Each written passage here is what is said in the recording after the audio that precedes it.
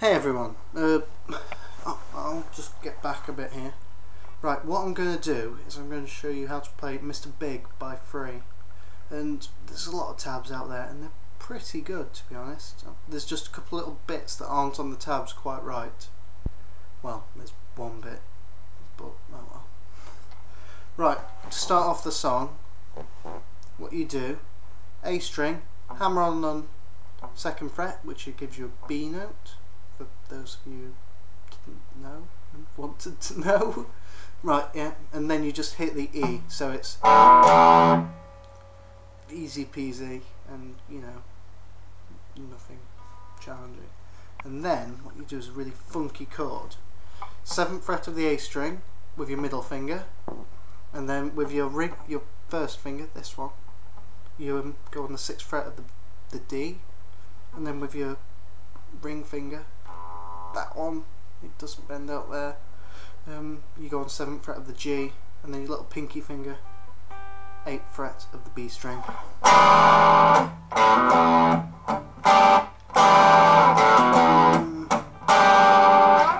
Right, and that's essentially the verse, you just keep going through that. You might hear a and that's just the bass, but sometimes you can get it in if you want to.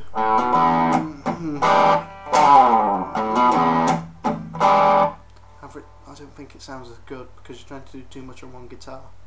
Right, and then chorus is really simple. It's just an A, 7th fret of the A position power chord, 7th fret of the A position, of the A string. That's what I meant. Just pretend I said string there. Right, and then next string up, and then 5th position, A, E string, and then you just do a little, take your little finger, Yep, and then you put it on the ninth fret. So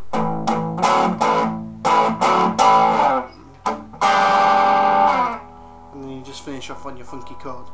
It's probably got a name, but I don't know it. Right, that's that's the chorus, and then when you're going from the chorus to the verses.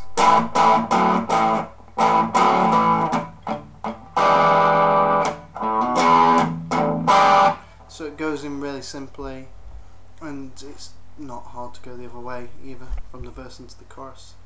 Right, um, the other bit that people don't generally know is um, during the bass solo what you what you generally will see on a tab is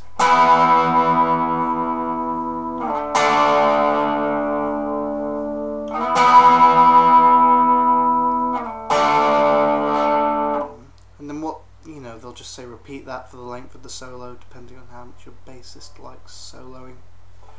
But what he's actually doing is there's two guitars. One of them is just going do do and never let me make guitar noises again.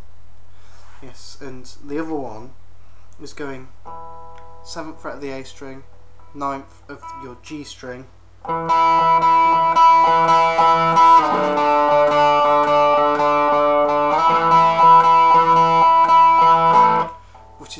Good if you've got two guitars and they don't mind doing that. Like, because you might want to exchange your guitar solo for one of them if your bassist doesn't like soloing. I, I, why do I shout when I say bassist? Bassist. See? Okay.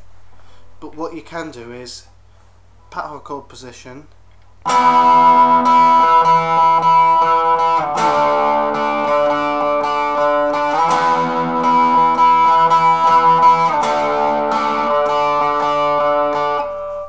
Just gets it and I know this video probably wasn't very good but hopefully somebody will learn something from it. So I'll see you later tomorrow I don't know. Bye